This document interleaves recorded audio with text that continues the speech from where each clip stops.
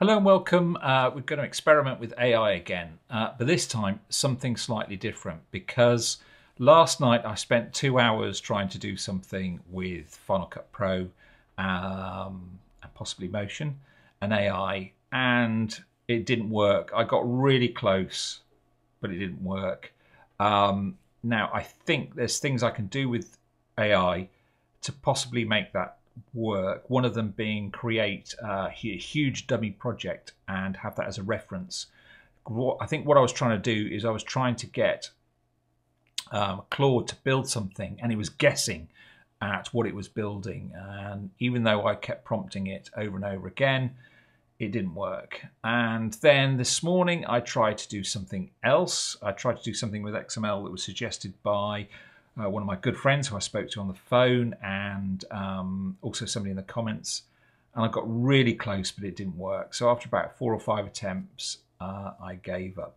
So I decided to do something completely different, and I did this, which is I built a Final Cut Pro keyboard shortcuts website, and I did the whole lot in under an hour. That's including designing it, coding it, everything and getting it uploaded to the website and um, the even the DNS pointing to the um, URL. Everything worked in under about an hour, which I find incredible. So this is my first go. I asked Claude to build it, and if you can see on the right hand side, we've got the preview window. If I go Blade, you know, it goes B or Command B, which is okay. Um, and if we go Color, uh, well, you can see it had match. It started to um, miss stuff out. That's not the entire list of keyboard shortcuts. So if we go down, um, you know, it's going all the way down. Um, what I would say is, let's have a look at this. Yeah, I was saying, well, put it into categories. I thought, well, you're not going to do that, are you? You're really not going to do that. And then I ended up with this, which um, is not the final one, but as you can see, color, that looks pretty ugly, doesn't it? I mean, keep entering the prompts to rebuild it. It, it sometimes it just doesn't stick with what you've got. It has to add stuff. Uh, you know, we don't want the advanced, and we, you know, we want something a bit better than this. So um, as you can see, enhancement mode, but that kind of like you know just threw up a complete wobbly. And then it went dark for some reason. Yes, and it, that wouldn't work keep going, keep going, keep going, keep going, keep going. And then we end up with this one. Okay, blade.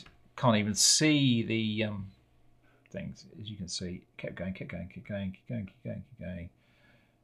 And this is the one I ended up with, I'm pretty sure. Um, don't need the categories to appear in the answers. So, yeah, no, that's not the one. Let's try that one. Blade. Yep. So this is the one I ended up with. So all that prompting, I don't know, took about half an hour to get that all in. Um, let's just check. I've got a police car going past. Yep. So there we have all the Final Cut Pro keyboard shortcuts. Now, that's written, if you look at the code, it's written in HTML it's got a bit of CSS in there for the styling and also the JavaScript that allows everything to expand and results of the search, etc. So what you do is you completely copy all that code and dunk it onto a onto um, a hosting account and attach a domain.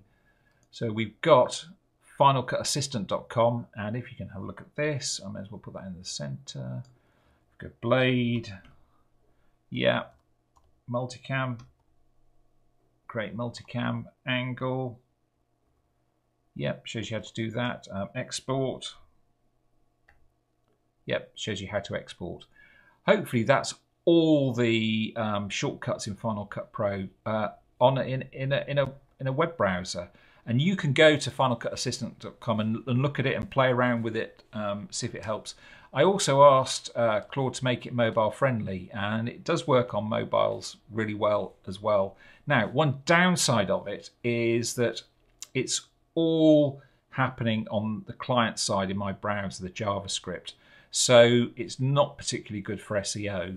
Uh, so what I'm trying to do is this is a first step. I'm trying to take all of that and convert it into uh, another website using Next.js and server-side rendering so that um, Google sees each of the pages as a page, um, and then that's good for SEO. I mean, this works and this works well, but it's never going to show up in a search. So that's my next goal. But um, I thought I want I wanted to share something with you because I'm pretty sure you don't want to see me hours of kind of like building XML and trying to get the thing to work. It will eventually work, and I'll work out how to do it. Um, but just to show you, I've been busy. Um, and also, we've got possibly uh, the new Final Cut Pro coming any day now. Is it going to be 10.9 or 8 or whatever? Or is it going to be 11? Who knows? Um, but what I didn't want to do is duplicate the output from that. I mean, I don't know what's in the new Final Cut Pro. It might have collapse multi- multicam.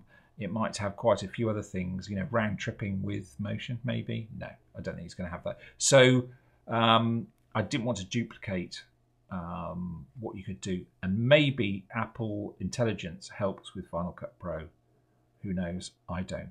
So there you go. I made you a little present, finalcutassistant.com. I'll put the link as the first thing in the description below. You can click on that have a play around with it. You might find it helpful, you might find it not helpful, but that just goes to show the power of AI and what you can do in under an hour, which for me is pretty incredible. Okay, hopefully I'll see you on the next one, and I might have some more updates about what you can do with AI and Final Cut and the other pro apps. Loads more to come. Um, if you could do a like and subscribe, then that'd be great. Thank you. Bye bye.